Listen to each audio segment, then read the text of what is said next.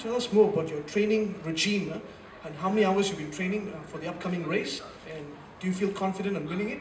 Anything else you have in your mind? Thank you. Well, first of all, good afternoon, everyone. Um, very happy to be here with Petronas and, and also now working with Primax. It's uh, a, a, role that I'm really looking forward to. Obviously, this year is a, an important year for, for, for both us as a team, but uh, also for Petronas. So I'm really excited to be a part of it. For my training, I mean, you can never prepare to be uh, for, for driving in these conditions. You know, obviously we travel around the world. We're always in a different climate, but um, this is definitely one of the hottest uh, places that I ever get to go to. I don't know how you all do it, but um, for us, basically, we uh, before I come here, the only way to simulate it is being in the sauna. So in the sauna, you, you just try and spend a little bit more time in the sauna. Just firstly get your body acclimatized to heat, and also sweating and, and working your pores and your whole system. But uh, physically, we have to do a lot of cardio, particularly more so this year. The car is probably a little bit less physical to drive it's a little bit slower, but um, I would say it's more mentally challenging this year for sure. But this year the cars are heavier with these bigger power units. It's a lot heavier, so it's um, there's a lot more demand on the driver now to be lighter. So I've had to lose a lot of weight this year. I won't say how much, but it's been quite a lot. I had to change my shirt size at least. So, um, but um, it, usually when I'm out of the season, we do we must be training five or six hours a day probably five, or six hours a day, I would say. But, yeah. And then during the season, it's about maintaining your fitness. You you're not trying to get fitter through the season. You're trying to trying to maintain what you have. So, but it's generally impossible to stay as fit. You can't be the fit as you've been all year long. So you're trying to create peaks through the year and hope that you peak at the races. Um, of course, coming here, I've not won here uh, at Sepang, so I'm massively, massively excited to, to just have a great car, have hopefully have a race, because obviously I didn't get to see the whole way through the last race, and fingers crossed we can uh, get a 1-2, that's, that's the goal.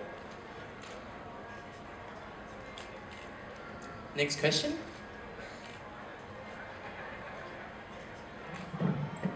Hey Lewis, um, Farah on behalf of Sports 24-7. With the extreme conditions that are in Sepang and the new regulation changes, what are the things that you, the team has had to work on to prepare for this race in particular because of the conditions? So this year, cooling is always a big a big issue. So um, this is where Petronas really can play a huge role, particularly with the engine. They've been working very very hard to try to the cooler the, the cooler you can run the car, the more power you can get. And um, for us as a, as a as a team and for all the teams, if the cars, if the engine's overheating, you have to open up the radiators, if you, uh, the, the cooling ducts, and if you open up the cooling ducts, you lose downforce. So the great thing is with our fuel is that it's so efficient, and also the, the lubricants we have keep the engine very, very cool, as cool as we can be. Obviously, every time we're trying to improve it, and of course during this week and moving on through the season, we'll continue to improve it. But um, the smaller we can have the, the, the, the cooling ducts, the more downforce we have. But this weekend is going to be massively challenging for the car. We obviously Nico completed the whole race distance um, in uh, in Melbourne, and uh, yeah, I mean, I think everyone's still finding issues bit by bit. So I think for us, it's just trying to iron out all the all the creases. Hopefully, they're not too many. So um, hopefully, this weekend is going to be. I mean, it's going to be challenging for us for sure, as it is for everyone.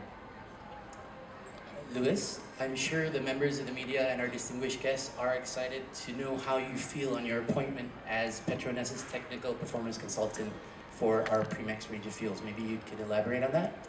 Yeah, um, no, I'm excited. You know, this is, this is my second year with Petronas, and it's been a real pleasure to work with the great people that are, that are among um, the Petronas team, but also just the interaction we have with the engineers that come to the circuit and work closely with us to you know, listen to every single word that me and Nico will say when we come out for our debriefs and all the things that just constantly wanting to innovate, or constantly wanting to improve and be better.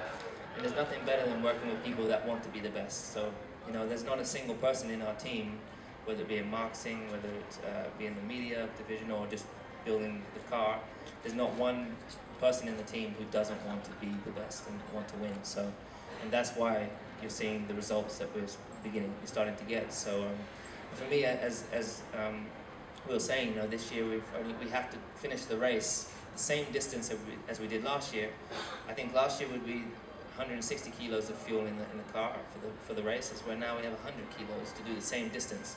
So it's quite incredible to see the um, efficiency, you know, all the improvements we're making with efficiency, with the engine, the turbo. Um, and, but as, also as a driver, there's a lot of demand to try and save fuel and all these different things to make the car last. So I'm going to be pushing very hard, working with uh, Primax to, to try and make sure that I have more, I can go fur- further with the amount of fuel that I have on board so that I have to do less fuel saving. just to, to add on that also. Um, now, now you probably see or know why we've, uh, we've in partnership with uh, Lewis. You can see that it's a perfect partnership whereby he's given a lot of inputs, a lot of suggestions, and this we have translated it into an efficient Petronas Primax fuel, not only for the F1 car, but now it's with you on the road. Any further questions from the members of the media? Please. Byron Young, Daily Mirror. Hi, Lewis. Um, I've just Can't seem to get away from you. all the races, mate, here all season.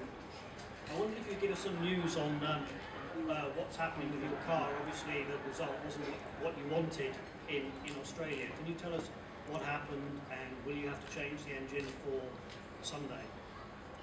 It's a good question. Um, I actually been in touch with my engineers quite a lot over the last uh, few days, and so just they're still investigating, but they've generally found something went wrong with some wiring to the engine. I think it is that uh, was literally just as I left the garage.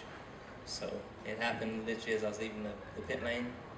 It already happened. There's nothing I could do to, to avoid it. Um, I think the fortunate thing is that we did stop when we did.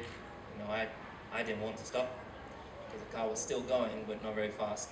And um, hope I'm hoping, of course, I'm keeping my fingers crossed that I've you know I've saved, I basically saved an engine life, into, uh, a race distance of life for the engine. So if I can use it, that'll be fantastic. I think I think it's going to be usable. So, hi. Uh, hi, this is Jonathan from Poltan.com.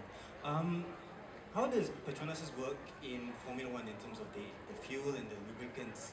Um, how does it transfer to the road cars, to, to, the that and the lubricants that the rest of the public use? Well, it's the perfect test bench, you know, and I'm the test pilot for all of you guys, you know, um, because the Primax fuel we actually use, you can actually use in the in the road cars.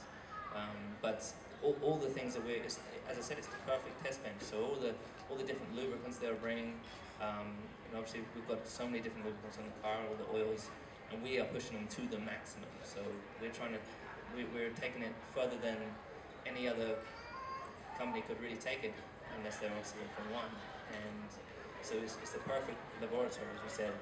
Um, and the great thing is that it's, it's, it's also with you know the whole car. For example, we're developing all these new things with technology, with um, ECUs, and um, all these different maps that a lot of different companies are using from from from the road, from the Formula One cars that we're using. And we're developing brakes and systems and all these kind of things that are actually going to road safety and all those things as well. So there's a lot of a lot of input and a lot of stuff that comes from the Formula car, which is quite unique.